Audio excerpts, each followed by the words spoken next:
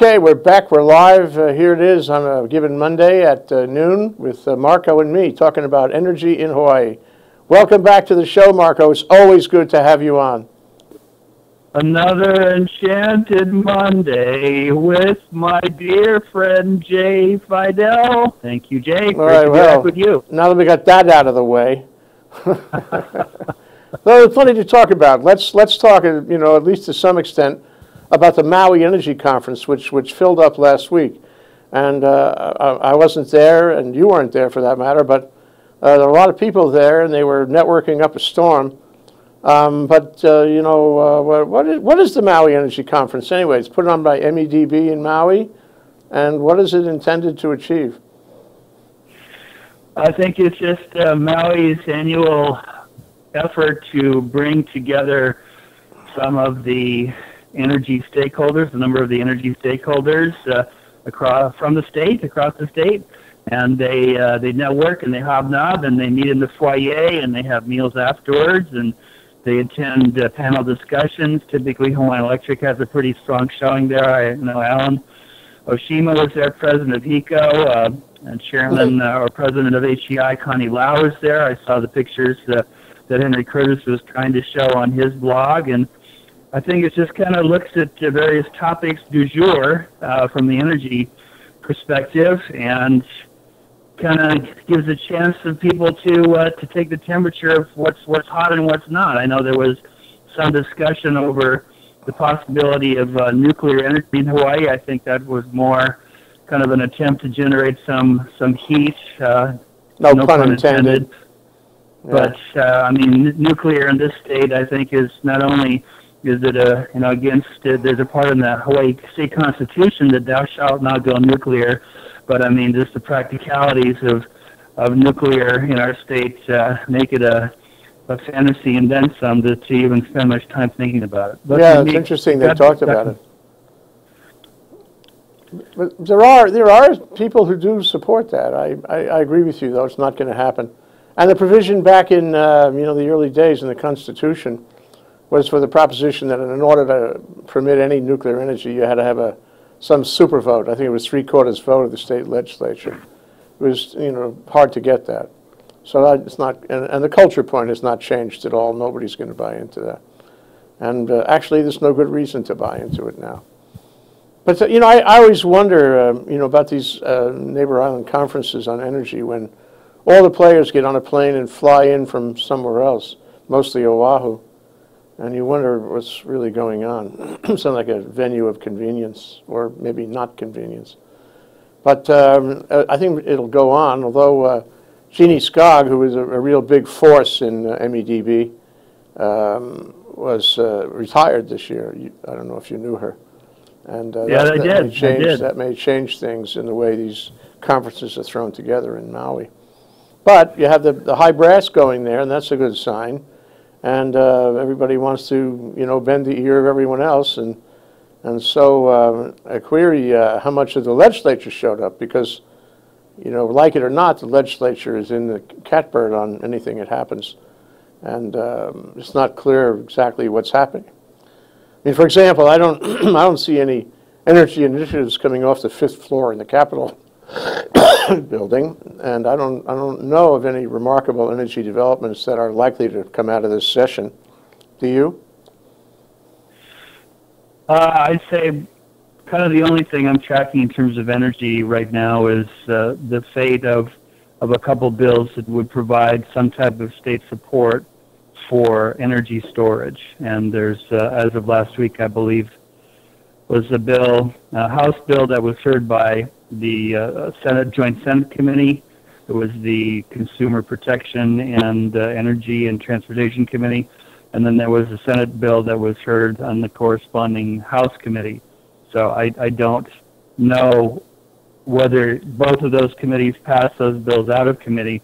Something I need to, to look into. So we're about, uh, gosh, a little more than a month away, five or six weeks away from the end of the session. So things will be uh, drawing to a close, and also kind of related to energy issues. I don't believe that uh, Governor Ige has submitted the name of Tom Gorak to the the Senate uh, Commerce, uh, Roz Baker's committee uh, in the Senate for confirmation.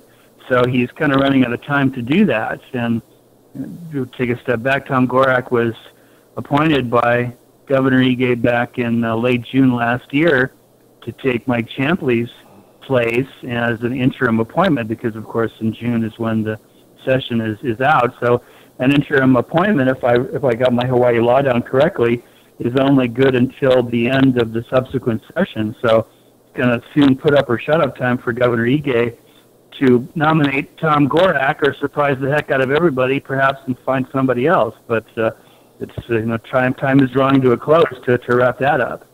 Well, that is, and you heard it here on Think Tech. You know, it's something we hadn't been thinking about. I I thought that issue had passed us already, and it was a fait accompli. But no, how interesting! There must be all kinds of thick political undercurrents on that one. You know that Randy Iwase, the chair, wanted to have that confirmed right right away, and uh, he, he was he's been in favor of Tom Gorak, been advocating for him. So this is really, mm, it's a very discomforting surprise to find out that the name has not yet been submitted. And I agree with you, that does leave the possibility that uh, David Ige is under pressure to let it go and try appoint someone else uh, who perhaps, uh, you know, uh, would, would be less political resistance. Wow. Well, we have to follow that, Marco. We have to follow that. Well, and to what extent there may be some some below the surface unhappiness with the way the governor handled Mike Champley, uh, replacing Mike Champley uh, when he did with Tom Gorak. Uh, to what extent there's some um, political unhappiness in the Senate uh, you know, it's it's a pretty small body there. Obviously, 25 people who who make decisions on such things. But I think uh, there was uh, a, a certain degree of unhappiness on the part of a number of, of senators and, and others as to Champley's uh, replacement. And you know, remember the timing was at the end of June when the governor announced that Gorak would be taking Mike's place with Mike's term coming to an end. And then all of about 15, 16 days later is when the commission by two to two to zero vote with Tom Gorak abstaining two to nothing vote to dismiss without prejudice the application of the acquisition of HEI by NextEra. So there was certain uh, certain unhappiness among in a number of quarters that it couldn't the governor have just waited a bit longer and allowed Mike to to take part in that final decision that he had been an integral part of the process, of course, like uh, Randy Iwase and Lorraine Akiba were from the very beginning. So again, circle back to, to the politics end of it, to what extent there's there's going to be uh, any pushback in the Senate to whoever the governor nominates, and let's assume that it will continue to be Tom Gorak, who, who I, I happen to like. I think he's incredibly capable. But it's uh, you know just an example of politics uh, potentially uh, inserting itself into uh, to the process. Yeah, and don't forget that uh, that the the strange machinations that went on around that vote wasn't clear that Lorraine Akiba was going to vote against NextEra. It was clear that Randy Iwase was going to vote against NextEra, and I think it was also clear that um, that um, Mike Champley was going to vote for NextEra. So it wasn't settled, and somehow all of that all of that um, machination there at the end on um, Mike, the end of Mike's term and his, um, and his summary replacement that way had a, in my view, it had a profound effect on that vote, and the vote might have gone the other way had that handled been, uh, handled, been handled another way. Anyway, it's, uh, it's, the word NextEra seems like ancient history at this point, and we haven't heard boo about the possibility of another suitor. And that's not a surprise. Uh, after what happened to NextEra, I doubt any other significant suitor would come on the field right now. So that leaves us with well, uh, what? I'm sorry.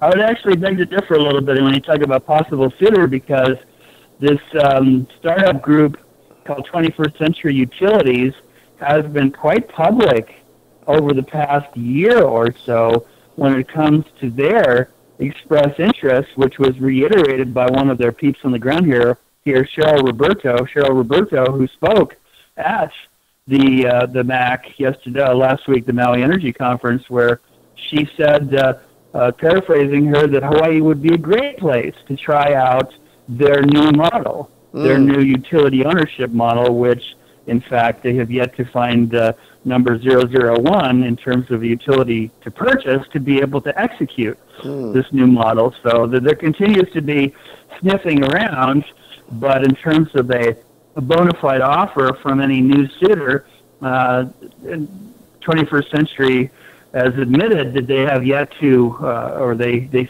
have not, submitted an offer to, to Hawaiian Electric Industries for purchase, but that hasn't stopped them from talking to energy stakeholders uh, east, west, north, and south here in Hawaii and uh, getting some, some press coverage for it. Yeah, well, that, you know, uh, I certainly agree that that, that is a logical possibility. Um, on the other hand, so many people come to Hawaii with great ideas and, and can't or don't or won't follow through on them. So who is 21st Century? Are they really a suitor?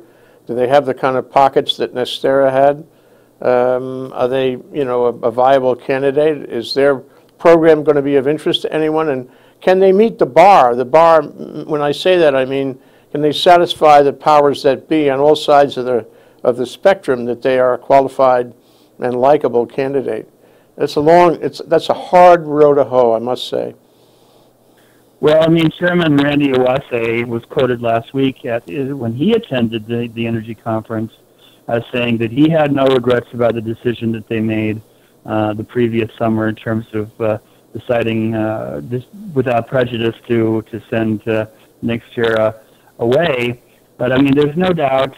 And he also said something interesting as well. I mean, which is just kind of reiterating what we all knew or know uh, otherwise, which is you know, NextEra came in with a substantial gravitas, to say the least, right? I mean, they're a major player on the mainland, uh, a number of accolades in terms of how they've run their companies over the years, and certainly deep pockets, right? So they come along with an incredibly, I think, generous offer of $4.3 billion, which one could argue was a substantial, uh, uh, substantially above market value for that company. Yep and that that of course caught the eye of the HEI board, and they decided to to move forward in this. And it, there's no doubt, I think, in anybody's mind that NextEra was in fact fit, willing, and able, fit, willing, and able to, to pull this off. But what happened in this decision, uh, explicitly, perhaps for the first time, because I mean, how often do we get merger proposals like this coming across our, our little state here? Never, I mean, never. Happen few and far between, right? Mm-hmm. But the, the new bar that this commission has said is, in terms of subsequent uh, offers to to peel away a major Hawaii corporation, is is it in the public benefit? Is it in the net public benefit and public interest? And then when you start throwing phrases like that around, then you, you're, I think, dealing in perhaps a lot more subjectivity and a lot more judgment in terms of what actually constitutes the, the what's best for the public, and, and Randy Iwase alluded to that explicitly. Yep. So That's what happened. I think mean, we- I guess the decision ultimately turned into, uh, do we like these guys? Are they, is their plan going to meet our plan? And um, are they going to be uh, happy, are they going to make everyone happy? And the answer is, well, no, there's a lot of people complaining about it, so therefore it's politically radioactive, we can't do this. And then, of course, Governor Ige's uh, repeated contention that they should not be approved uh, did not have a small effect on it, it had a big effect on it. And that was regrettable because it actually wasn't his business to make uh, that statement. In any event, uh, Well, I mean, what's the likelihood, do you think, Jay, of a an equal or superior offer coming to the HEI board in the near term? I mean, I, of course, you and I, I, I don't think are privy to what's going on inside that, uh, I'm sure, richly appointed boardroom. But the likelihood of somebody coming up with an equal, let alone better offer in terms of uh, you know, four point something billion dollars, I think, is kind of a stretch. No, never right now. never happen. Not only because of the money, you know, and the, and the, you know, business, the four corners of the deal, but because of what happened to Nextera. You know, I don't think they were treated very well. They were sort of kicked out of town. And uh, that, you know, uh, how do you avoid that? Uh, It's a hard one. So I don't think, there are a lot of Nexteras around, um, and I don't think it's going to happen. And, and that, that leaves the question, of course, this 21st century question that you alluded to a minute ago, is what is their business model? It's not tried yet. How does it mix in with the other possible business models? And when we get back from this break, Marco, I'd like to talk about the emerging new business models for utilities because that must have been discussed in Maui. It was discussed in Maui before, and uh, I'd like to hear your thoughts about what, what are the potentials right now. We'll be right back after this break. Aloha. My name is Reg Baker, and I'm the host of Business in Hawaii with Reg Baker. We broadcast live every Thursday at 2 o'clock. We highlight businesses and individuals that are successful in Hawaii, and we learn their secrets to their success. I hope you can join us and listen in because we always have a pack of information on successful stories in Hawaii. Aloha. Hi, I'm Tim Apicella. I'm the host for Moving Hawaii Forward, and this show is dedicated to transportation and traffic issues in Oahu. Um, we are all frustrated by sitting in our cars uh, in bumper to bumper traffic, and this show is dedicated to talking to, with folks that not only we can define the problem, but we hopefully can come to the table with some solutions. So I invite you to join me every Tuesday at 12 noon, and let's move Hawaii forward. Okay, Marco. So what, what are the uh, you know emerging options these days, uh, given 21st century, given Kauai and the KIUC, giving HIEC these days? What, what, is, what does it look like? Um, you know, what, what are the most viable alternative options and how well are they doing? Well, I mean, you're kind of uh, asking me the, a very good question, Jay, which is exactly what the state of Hawaii decided last year to appropriate more than a million bucks to to address that question. I'm referring to a, a bill and a law that was uh, signed by Ige last session last year that appropriated, if I'm not mistaken, 1.4 million dollars to pay an independent consultant to address those specific questions. So they, in fact, uh, chose a company. This is back in January.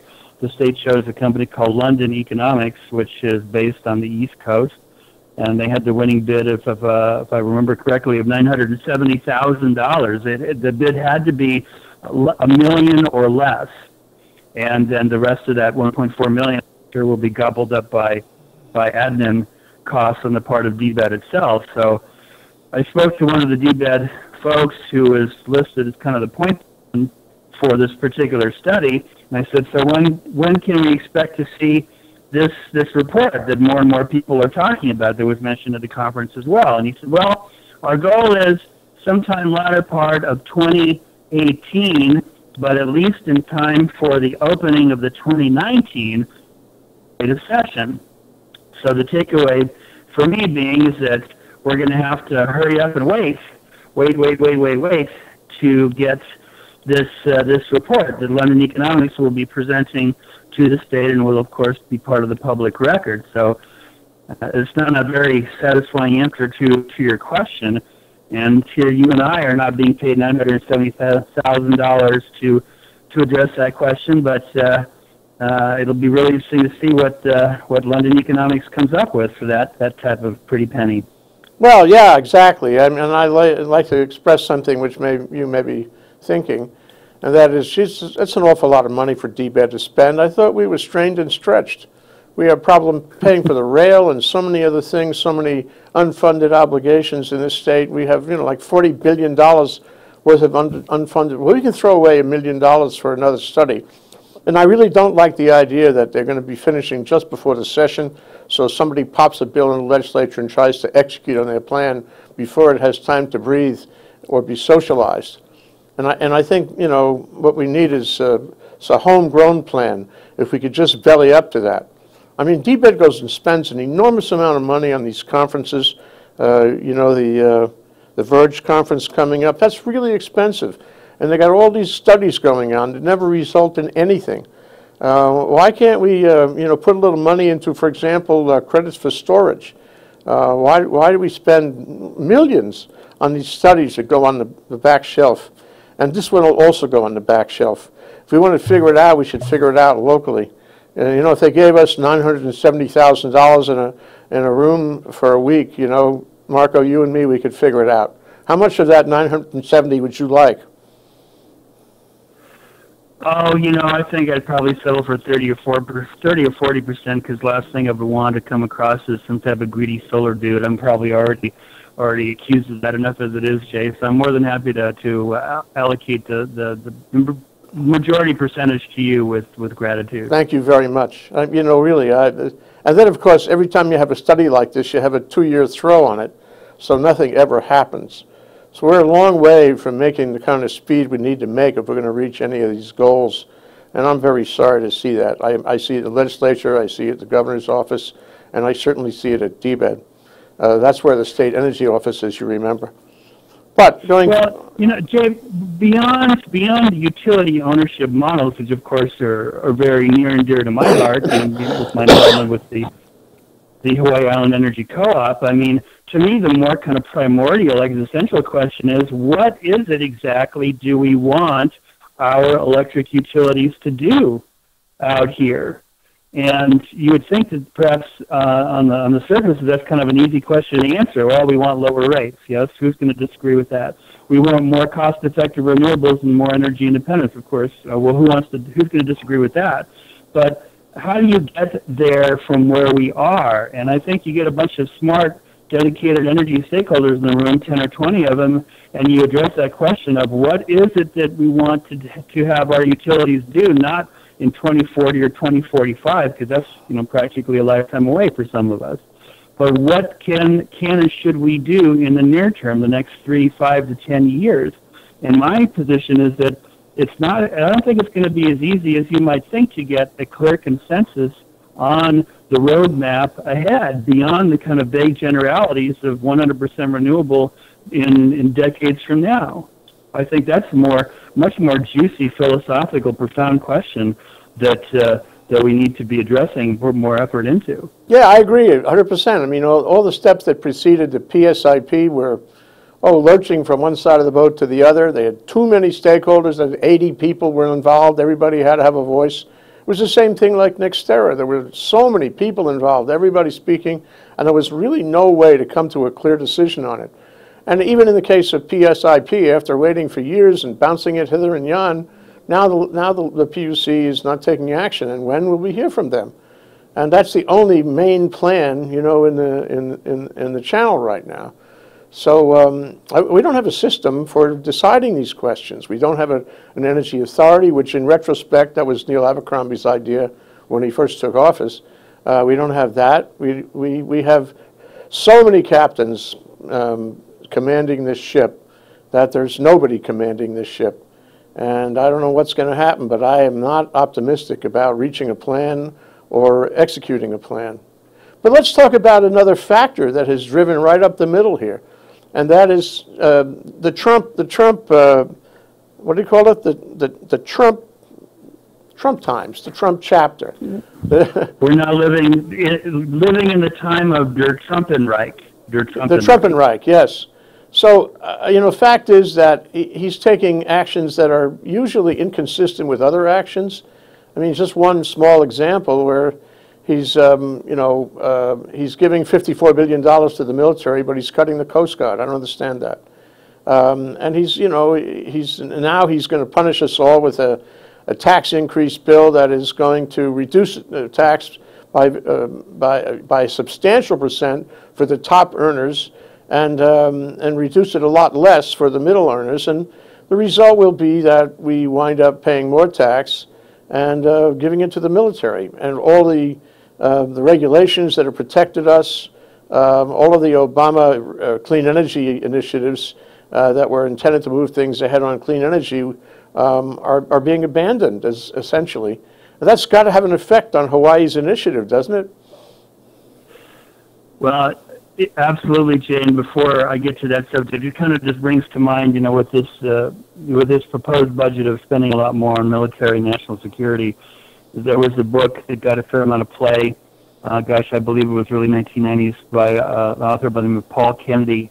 Paul Kennedy, The Rise and Fall of Great Nations, and he looked back historically to from uh, Rome, Roman times, to the British Empire, and uh, from that book came a, a phrase known as imperial overstretch, which essentially, uh, to, to put it in a very kind of simplistic form, you have a state that is spending more and more and more uh, to try to project power or project interests far and wide, and it essentially leads to from a, a to a collapse uh, from outside in or, or and or inside out.